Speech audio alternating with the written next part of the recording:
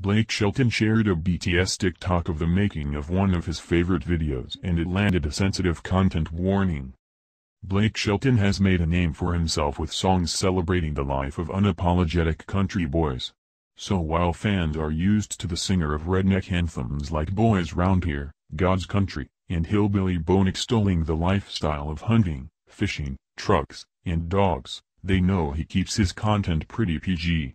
That's why it was such a surprise when a TikTok post from the making of one of his music videos was flagged by the site for sensitive content. Did the cowboy take his redneck sensibilities to an offensive level? The warning at the beginning of Blake Shelton's BTS TikTok post from the comeback as a country boy video shoot amused some fans, as they wondered what he did to deserve such a label. Check out the post for yourself. As it turns out, it wasn't the singer's antics that turned him the warning.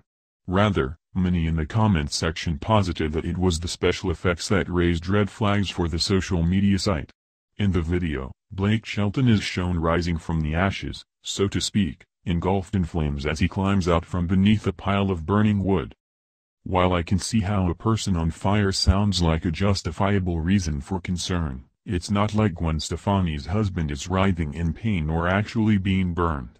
It's not a knock at the special effect people either but the fire doesn't look all that realistic anyway. As the TikTok video shows, the Voice's OG coach was never around any real fire, as a split screen showed both the filming of the scene and the highly edited finished product. Other BTS clips on Blake Shelton's social media post, which proclaimed that Comeback as a Country Boy remained one of his team's favorite videos, showed how they filmed the singer pushing over a large tree.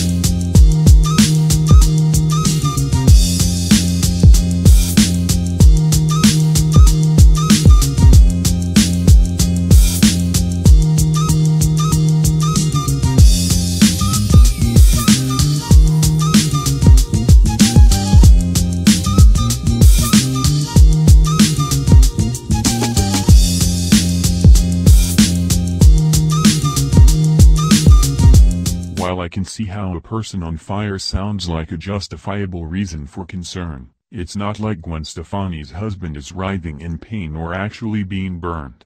It's not a knock at the special effect people either, but the fire doesn't look all that realistic anyway.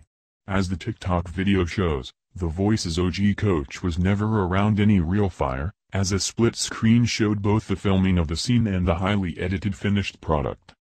Other BTS clips on Blake Shelton's social media post, which proclaimed that Comeback as a Country Boy remained one of his team's favorite videos, showed how they filmed the singer pushing over a large tree, they used an excavator, as well as how other visuals were added or edited in post-production to achieve the music video that fans saw. Blake Shelton's TikTok followers had a laugh at the warning that some people may find this video to be disturbing, with one commenter saying, I love the sensitivity warning before watching this video. There was also some uncertainty over why the warning was included, and some even made a joke out of it and pretended to be confused about what was real and what wasn't. As one fan said, You mean New actually didn't push the tree over? It is actually pretty funny to imagine anyone being concerned about Blake Shelton after seeing that video, and I wonder if he's going to use the situation as an opportunity on The Voice, or even on Barmageddon, his new project with Carson Daly, to brag to his fellow season 22 coaches about how on fire he is. We've seen the kind of trolling he's capable of, so don't let this dad joke opportunity pass you by, Blake. You can catch the thoroughly unburned Blake Shelton on the NBC singing competition when it returns on September 19th. Be sure to check out our 2022 TV schedule to see when other new and returning shows are premiering.